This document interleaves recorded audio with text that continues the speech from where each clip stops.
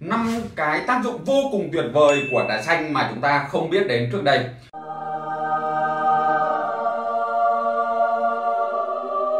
Đầu tiên nó là một cái thức uống à, dinh dưỡng rất là tốt. À, cái thành phần dinh dưỡng chính của cái trà xanh nó là tannin nó chiếm đến 15 cho đến 30 phần trăm ở trong cái trà xanh. Và tannin nó tạo ra cái vị chát của trà và khi mà chúng ta uống cái trà xanh ấy thì chính cái tannin này nó sẽ là bảo vệ cái hệ thống niêm mạc của ruột cũng như là kích thích cái hệ đường vi khuẩn ở đường ruột nó phát triển tốt ở trong cái hệ đường ruột của chúng ta. Cái thứ hai nữa là gì? Đó là cái trong trà xanh ấy thì nó có chứa nhiều cái caffeine. Nó có từ 2,5 cho đến 4 phần trăm cái caffeine thường nó sẽ có nhiều hơn cả ở trong cà phê của chúng ta. Tuy nhiên thì khi mà cái lượng cà phê chúng ta uống với cái số lượng rất là nhiều nên cái hàm lượng nó nhiều hơn thôi. Còn cái tỷ lệ thì trong trà xanh nó còn nhiều hơn và chính cái caffeine này ấy, thì nó sẽ là kích thích cho chúng ta cái tỉnh à, cái hưng phấn hay là chúng ta tỉnh táo hơn.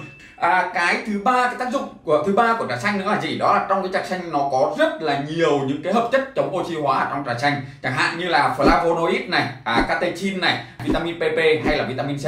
Và những cái hợp chất này ấy thì kể cả khi mà chúng ta uống ở cái dạng tươi hay là sau khi mà chúng ta phơi khô sau đó chúng ta uống ấy thì nó cũng sẽ có cái tác dụng à, làm cho cơ thể chúng ta nó tăng sản sinh ra nhiều cái interferon ở trong máu. Và đây chính là những cái chất mà à, giúp cho tăng hệ thống miễn dịch ở trong cơ thể chúng ta ngăn chặn cái việc mà virus nó xâm nhập vào trong cơ thể cũng như là bảo vệ cái à, cơ thể chúng ta tránh tình trạng bị ung thư. Bởi vì thế mà chúng ta nghe rất là nhiều về cái việc mà uống nước trà xanh để trong cái việc mà dự phòng cái bệnh ung thư bởi vì thế và có một số những cái nghiên cứu người ta cho rằng là gì? Đó là nếu như mà chúng ta uống 4 à, ly nước trà xanh mỗi ngày thì nó có khả năng dự phòng cái nguy cơ ung thư đối với cơ, cơ thể của chúng ta. Thì đấy là cái tác dụng thứ ba. Cái thứ năm của chúng ta nữa là gì? Đó là cái trà xanh ấy thì nó rất là tốt cho tim mạch. Nếu như mà chúng ta uống trà xanh hàng ngày ấy thì nó có thể giúp cho chúng ta giảm cái cholesterol ở trong máu và từ đấy là giảm cái nguy cơ dẫn đến những bệnh lý liên quan đến sơ vữa mạch của chúng ta và nếu như mà chúng ta có điều kiện hoặc là à, chúng ta có được cái thói quen uống trà xanh mỗi ngày thì nó cực kỳ tốt cho sức khỏe của chúng ta